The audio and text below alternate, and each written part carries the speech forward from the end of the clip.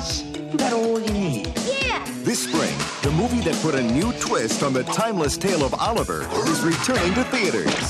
Absolutely, positively. It's Disney's animated classic, Ooh, yeah. Oliver and Company. Isn't he cute? Mom and Dad just said I could keep him. Check it out.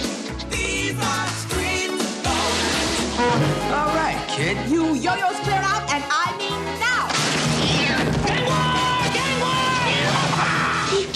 kidnapped Oliver. Get away from me. You've got 12 hours. We'll get it back. That's right, man.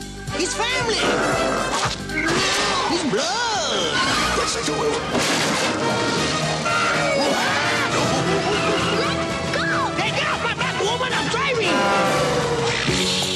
This spring, the gang that has comedy wired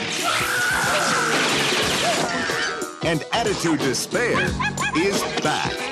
With songs performed by Bette Midler, Could I see you for a moment privately? Ruth Pointer, Huey Lewis, and Billy Joel. Why should I worry? Why should I care? It's just the big population. We got peace and perfect. It's the one and only Oliver and Company.